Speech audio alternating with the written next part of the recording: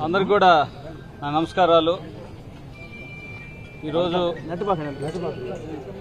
దాదాపుగా చీరాల కాన్స్టిట్యున్సీ నుంచి అనేక మంది వైఎస్ఆర్సీపీ పార్టీలో చేరటం జరిగింది.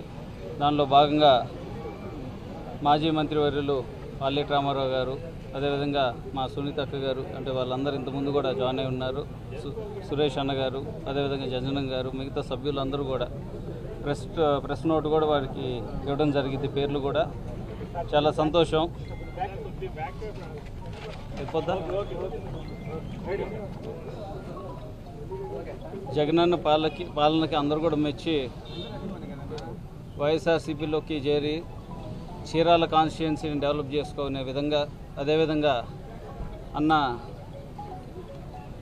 వాసన్న ఉన్నారు. దాదాపుగా మాకు గత ఇరవై సంవత్సరాల నుంచి కూడా మాకు దగ్గరగా ఉండే నాన్నకు కానీ నాకు కానీ అందరూ కూడా ఇప్పుడు ఒక కుటుంబ సభ్యుల్లాగా ఇప్పుడు కూడా భావించి ముందుకెళ్తా ఉన్నాం. అన్న సమక్షంలో ఈరోజు మేమందరం కూడా పార్టీలో చేరి ప్రకాశం జిల్లాలో ముఖ్యంగా చీరాలలో అందరం కూడా కలిసి పనిచేయటానికి గట్టి కృషి చేస్తామని వైఎస్ఆర్సీపీ పార్టీని బలోపేతం చేయడానికి తప్పకుండా రైంబాగులు కష్టపడి ప్రతి ఒక్క చీరాల ప్రజలకి సంక్షేమ పథకాలు కావచ్చు అనేకమైన కార్యక్రమాలు మనం చేపడుతున్నాం కాబట్టి వాటన్నిటికి కూడా ప్రతి ఒక్కరికి కూడా అందే విధంగా కార్యాచరణ చేసి పార్టీని మళ్ళీ రెండు వేల ఇరవై నాలుగులో కూడా మంచి మెజార్టీతో గెలిపిస్తామని చెప్పి అందరం కూడా సమాపకంగా తెలియజేస్తా ఉన్నాం. ఈరోజు చాలామంది చాలా మాట్లాడుతూ ఉన్నారు. అవన్నీ కూడా ఒకసారి మీరు ఆలోచించుకోవాలా? ఏ విధంగా పాలన జరుగుతుంది? ఏ విధంగా సంక్షేమ పథకాలు జనాల్లోకి తీసుకెళ్తా ఉన్నాం? అవన్నీ కూడా పేద ప్రజలకి అండగుండే పార్టీ వైఎస్ఆర్సీపీ పార్టీ కాబట్టి మేమందరం కూడా. ఎందుకంటే దాదాపుగా కొన్ని సంవత్సరాలుగా నేను టీడీపీలో పనిచేస్తూ ఉన్నాను. ఒక పార్టీని వీడేటప్పుడు వేరే పార్టీ మీద విమర్శించే ఇది నా భావన కూడా కాదు కాబట్టి నేను దాని గురించి ఏం మాట్లాడదలుచుకోలేదు. తప్పకుండా భవిష్యత్తులో వైఎస్ఆర్సీపీ పార్టీని బలోపేతం చేయడానికి కష్టపడతారని చెప్పి మరోసారి తెలియజేసుకుంటూ సెలవు తీసుకుంటున్నాను. జై జగన్.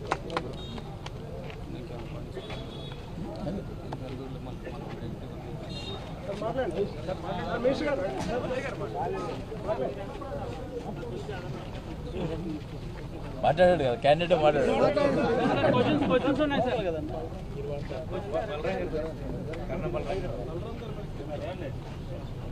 సార్ బలరాం గారు ఏంటి సార్?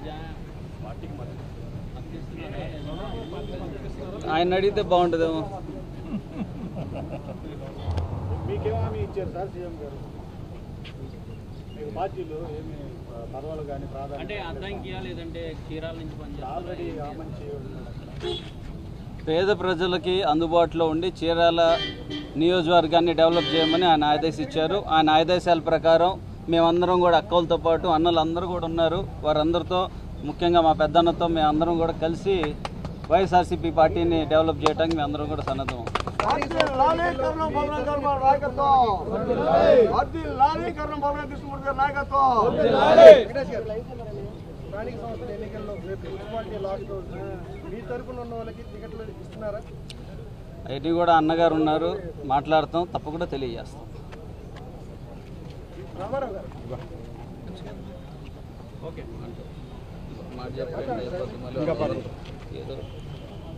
ఈరోజు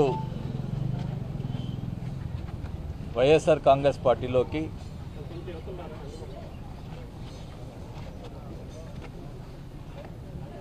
వెంకటేష్ గారు మరియు పా పాలేటి రామారావు గారు ఇంజన్ శ్రీనివాసరావు గారు వీళ్ళందరూ కూడా వైఎస్ఆర్ పార్టీలోకి చేరటం మంచి శుభపరిణామం ముఖ్యంగా జగన్మోహన్ రెడ్డి గారు చేసిన పథకాలను చూసి ఈరోజు వాళ్ళు వైఎస్ఆర్ పార్టీలో చేరారు. వాస్తవానికి మరి కరణం బలరాం కృష్ణమూర్తి గారు తెలుగుదేశం పార్టీలో చంద్రబాబు నాయుడు గారితో ఎంతో సన్నిహిత సంబంధాలు ఉండేవి అలాంటి చంద్రబాబు నాయుడు గారు బలరాం కృష్ణమూర్తి గారిని చాలా ఇబ్బందులు పెట్టినటువంటి పరిస్థితులు కూడా ఉన్నాయి. అవన్నీ కూడా ఆ నియోజకవర్గ ప్రజలందరికీ తెలుసు. గతంలో రవికుమార్ని వైఎస్ఆర్ పార్టీని తీసుకొని పోయి అప్పుడు ఒక బలరామ కృష్ణమూర్తి గారిని ఇన్ఛార్జిగా కూడా పక్కన పెట్టినటువంటి పరిస్థితులు ఉన్నాయి. ఇప్పుడు వెంకటేష్ గారు వెంకటేష్ గారు ఇన్ఛార్జిగా ఉన్నారు. కానీ చ- చంద్రబాబు నాయుడు గారు కొత్తగా వచ్చినటువంటి వాళ్ళని తీసుకొని మళ్ళీ పక్కన పెట్టినటువంటి పరిస్థితులు ఉన్నాయి. మరి ఈరోజు ఆ పరిస్థితి లేకుండా ఇప్పుడు బలరాం బలరాం కృష్ణమూర్తి గారు చంద్రబాబు నాయుడు గారి యొక్క పరిపాలనని వ్యతిరేకిస్తూ ఉన్నారు. ఖచ్చితంగా కూడా ఆయనకి సంబంధించినటువంటి విషయాల్లో అక్కడ ఆమంచి కృష్ణమోహన్ ఉన్నారు. మరి అందరూ కూడా కలిసి కూడా చీరాల నియోజకవర్గానికి ఎమ్మెల్యేగా బలరాం కృష్ణమూర్తి గారు అందరూ కూడా కలిసి పని చేసి చీరాల నియోజకవర్గం డెవలప్ చేస్తారని కూడా తెలియజేసుకుంటాం